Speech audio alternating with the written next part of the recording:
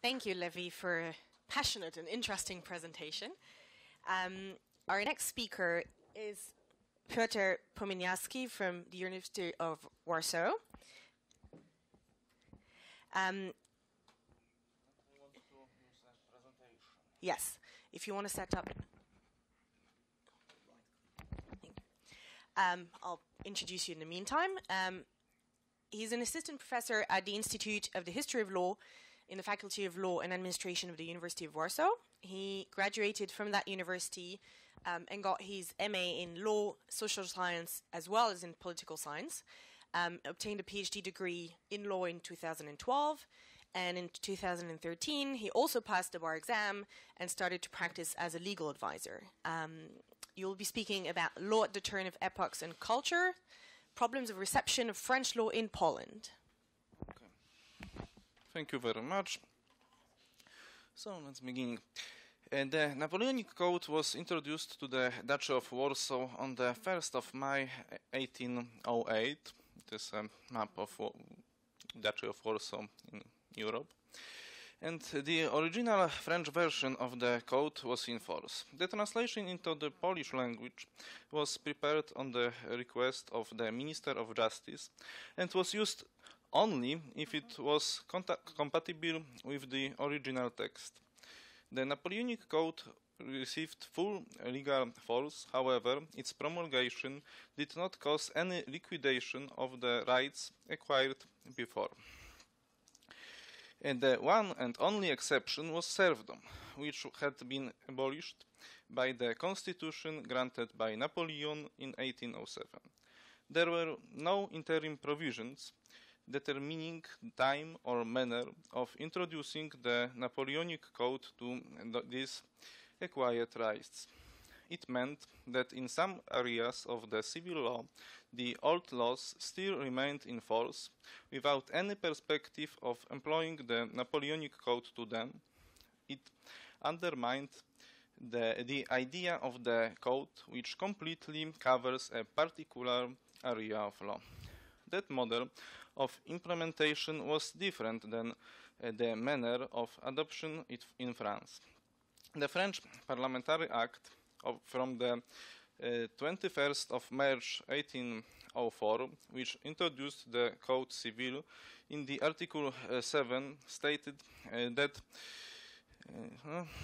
from the day that those laws are enforceable, the Roman laws, ordinances, general or local customs, statutes, regulations cease to have effect in matters which are the subject of this code.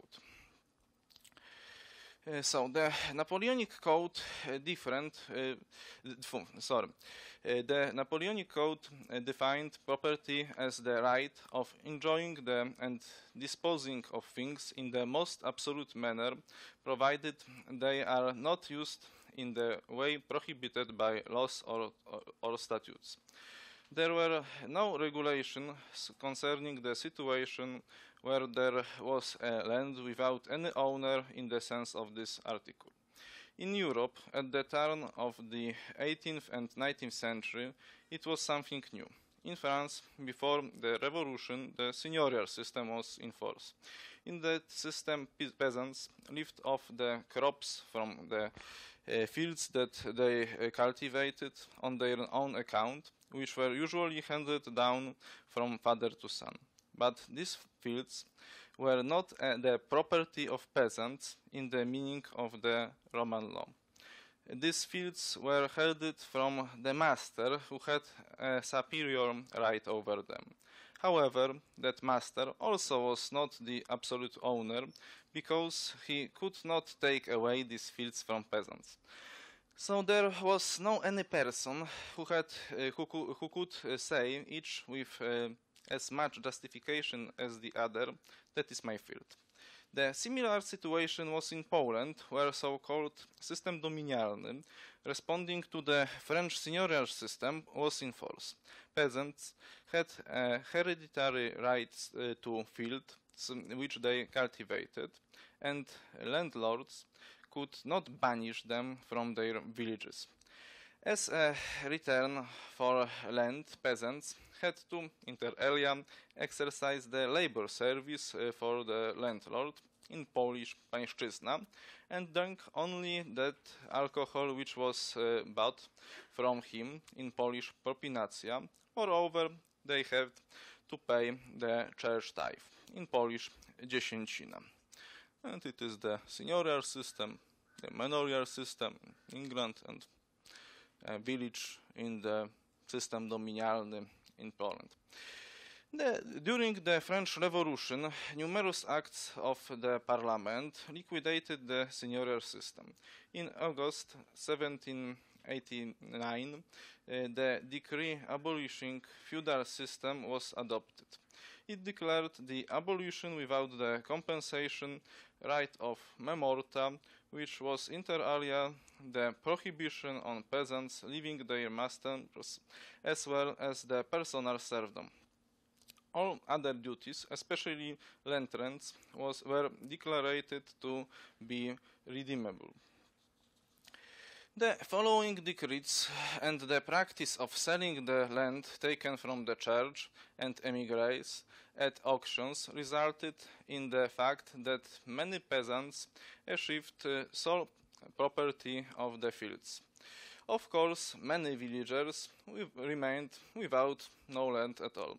The problem of repurchase of uh, rent lands Eh, were uh, still eh, current during the preparation of the Napoleonic Code. The code declared that every land rent granted permanently as the contribution of selling an immovable property was in its nature redeemable.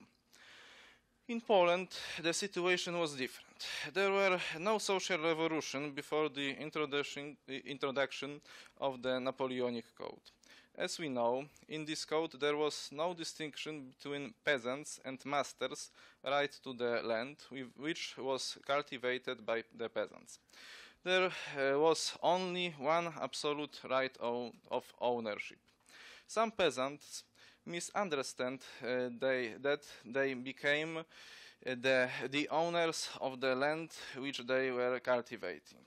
In some villages, the riots took place as a result. In uh, December 1807, the monarch issued the decree which uh, explained the situation of the peasantry in the Duchy of Warsaw. He declared that the personal inviolability of each peasant, the abolition of serfdom, but also announced that uh, the whole land cultivated by the peasants belonged solely to their masters. Moreover, one year after the promulgation of that uh, de decree, masters could uh, terminate the conditions of using their grounds.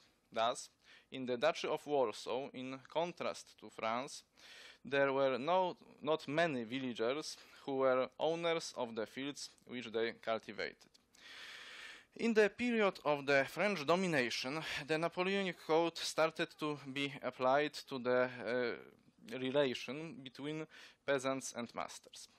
Until now, there is no study concerning that application which based on the court practice. However, I have found uh, some court records referring to the conflicts between masters and peasants, which I would like to describe. Firstly, I will tell something about the institution called in Polish servituty. It meant the peasants' common rights from a given village over forests, meadows, or wasteland located in the master's domain where the uh, cattle could pasture. In the new situation, masters were recognized as the only owners of these grounds. I have found court records of uh, three uh, trials between masters and peasants concerning the servitude. In two of them, the controversy referred uh, to the forests, and in one to the meadow. Uh, in all of these uh, cases, the court supported the masters, which may suggested that the authorities of the Duchy of Warsaw aided the nobility over the peasantry. Uh, the most uh, severe of uh, feudal duties, which still burned on the peasants, uh, was so-called pańszczyzna. It was the labor service that peasants had to provide to the owner of the land, which often meant working at uh, fields in the master's domain. Masters did not uh, pay uh, them for that wo- work. It was some kind of payment, payment for using the land belonging to the master's, uh, master as the superior owner. I have found several cases referring inter alia to pańszczyzna. In one case, the master requested for a court to order to the peasants from uh, his villages to, to conclude new agreements with him. Otherwise, they would have to leave their places of residence. The uh, court did not agree with him and stated that the peasants were to fulfill their duties as they had to before. Moreover, the court uh, uh, delegated the associated judge to determine the level of duties. In the justification of that verdict, the court stated that the banishment of peasants would be harmful to the country and to the property of that master because it would uh, cause uh, decline uh, in the value of that property. The court also concluded that the peasants had lived in these villages since time immemorial. In that justification, there was no reference to the decree from December 1807, property, uh, probably because of the fact that the verdict was contrary to this decree. In two other cases, uh, the court also stated that the peasants should uh, provide duties as usual. Also, in these verdicts, there were no references to the decree from December 1807 and to the Napoleonic Code. The old customs and catalogues of duties were treated as, a, as the existing uh, law. Another uh, duty that burned on the peasants was so-called propinacja.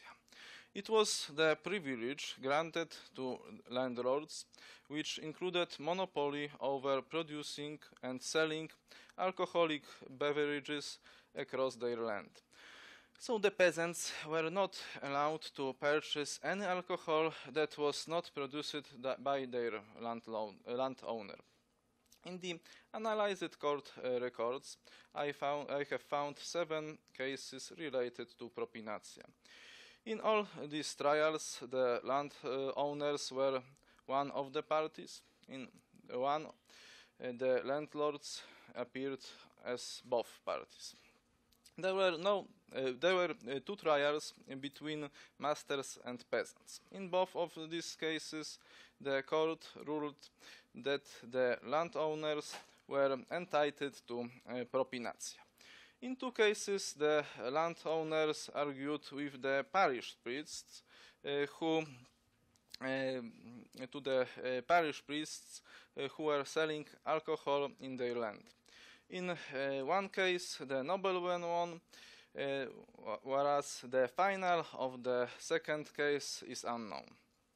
In the two following cases, the landowners argued with the Jews.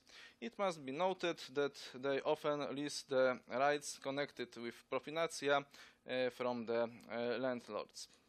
One trial was caused uh, by the leaseholder who rented a village and forbade the Jew from selling alcohol in that village.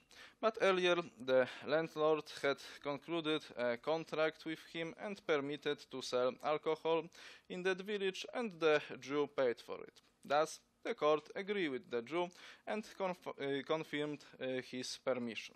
The final of the second case remained unknown. Okay, uh, what is more, uh, there were many trials concerning the church tithe in the civil courts until the disputes referred to these taxes were transferred uh, to, the, to the administrative authorities in 1822. These trials concerning the pańszczyzna, propinacja, and uh, the uh, church tithe show uh, that in the Polish villages at the beginning of the 19th century, the old customs remained in force and often played bigger role than the capitalistic French law. In the central Polish lands, the, the abolition of pańszczyzna, propinacja, church tithe, and servitude took place in the second half of the 19th century. It, of course, does not mean that the application of the French law in Poland has failed.